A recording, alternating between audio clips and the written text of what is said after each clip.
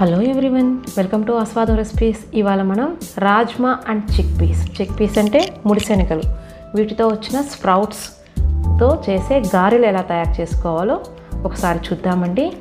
ఇవి ముందుగా మనం ఈ రాజ్మా అండ్ ముడిశెనగల్ని ముందుగా నానబెట్టి మూటకట్టి పెట్టేసుకుంటే స్ప్రౌట్స్గా వస్తాయి మొలకెత్తుతాయి.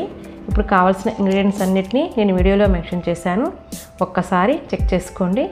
ఇప్పుడు మనం ఏవైతే మొలకెత్తినవి ఉన్నాయో రాజ్మా అండ్ ముడిశనగలు వీటిని మిక్సీ జార్లో వేసుకొని కొంచెం అల్లం కొంచెం టేస్ట్కి సరిపడా సాల్టు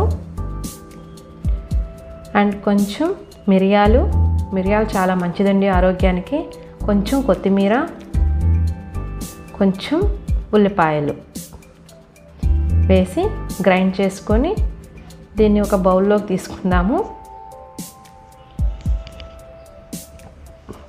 సాల్ట్ మీరు చూసుకొని మీకు కావాల్సినంత యాడ్ చేసుకోండి. మీ టేస్ట్కి సరిపడా దీంట్లో కొంచెం ఒక రెండు పచ్చిమిర్చి తరిగినవి యాడ్ చేస్తున్నాము.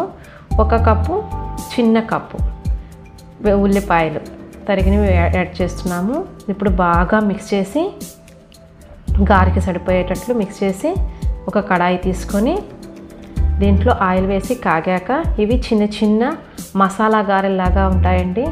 వీటిని గారెలుగా చేసుకొని ఆ ఆయిల్లో వేసి కొంచెం బ్రౌనిష్గా వచ్చేంత వరకు వేయించుకుందాము.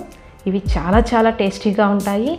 ఇది పప్పుచారు వీటన్నిటిలోకి చాలా బాగుంటాయండి నంచుకొని తింటుంటే. మీరందరూ ట్రై చేయండి. ట్రై చేసి మీకు ఎలా వచ్చిందో నాకు కామెంట్ సెక్షన్లో రెస్పాండ్ అవ్వండి. చూసారు కదా? బాగా బ్రౌనిష్గా వచ్చాయి. ఎందుకంటే ఇవి ముడిశనగలు. ముడిశనగలు కొంచెం నల్లగా ఉంటాయి కదా బ్రౌనిష్గా. అందుకని ఇట్లా వస్తాయి మనకి. సో ఈ విధంగా ఒక ప్లేట్లోకి తీసేసుకుందాము. సర్వ్ చేసుకోవడమేనండి. ఇవి చాలా చాలా క్రిస్పీగా ఉన్నాయి. చాలా టేస్టీగా వచ్చాయి. మీరందరూ ట్రై చేయండి. తప్పకుండా please watch the video like the video and subscribe the channel. Thank you so much for your support.